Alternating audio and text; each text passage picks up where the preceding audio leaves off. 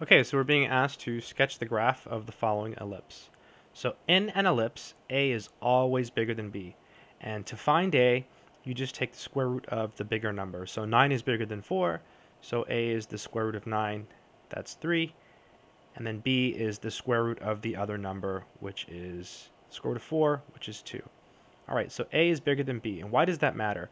Well, if the A squared term is under your X term, your major axis is horizontal. So if the bigger number is under your x squared term, the major axis is horizontal. If the bigger number is under your y squared term, the major axis is vertical. So in this case, a is 3, and it's under the x squared term. So the major axis is horizontal. All right, now we can graph it.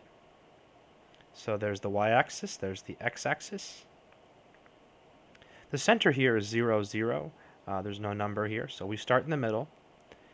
All right, the major axis is horizontal, so we go left and right by 3. 1, 2, 3, 1, 2, 3. And then we go up and down by 2. 1, 2, 1, 2. Put a dot here, put a dot here, put a dot here, put a dot here, and then attempt to draw what looks like an ellipse. And that is a thing of beauty. That's how you graph an ellipse with the major axis being horizontal. If it was backwards, if the 9 was here instead, then you would go up and down by 3 instead of left and right.